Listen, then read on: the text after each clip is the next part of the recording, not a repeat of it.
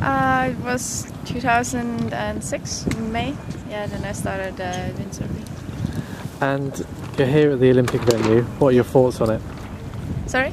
And here at the Olympic venue, what do you think of the venue? Oh, it's a really nice place. I really like that. I have been here just once, but yeah, it's nice. Even though it's it might be a bit rainy Is it, now is and it there. similar conditions to Estonia?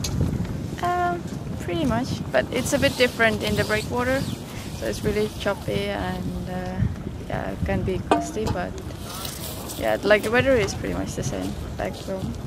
And are you looking forward to the Olympic Games? Oh, really, really excited. yeah, You're going to go to the opening ceremony? yeah, I'm planning to.